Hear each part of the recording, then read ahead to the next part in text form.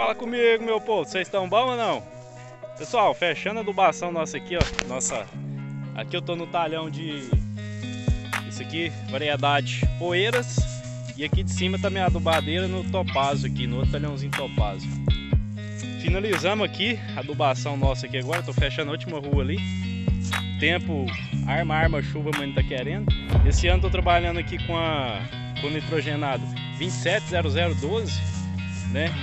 Baixei o potássio porque meus potássios tá alto na análise, então é importante você tá fazendo análise, né? Então resolvi trabalhar com 270012, adubo da Nutrien. Primeiro ano que eu trabalho com essa adubação deles. É ureia protegida, né? Vou mostrar para vocês ali agora para vocês estar vendo. O tempo tá seco, pessoal, ó. Tá armando chuva em volta, mas até o momento não choveu. Mas segundo o vendedor lá, o adubo deles é top. 51 kg de polímero aí por tonelada. Vou ali agora tá dando uma mostrada para vocês ali no adubo aí, galera. que é. Só o finalzinho ali já fechando já. Vou ali na frente, dá para vocês verem mais de perto. Mas e aí, me conta aí, vocês já usaram desse adubo aí? O que, que acha da eficiência aí?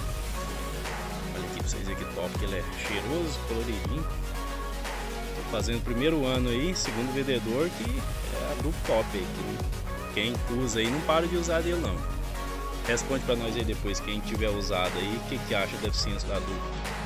Isso aí é o 270012 protegido, ureia protegida, né, da Nutrem. Valeu, galera. Forte abraço aí. Até o próximo. Curti aí.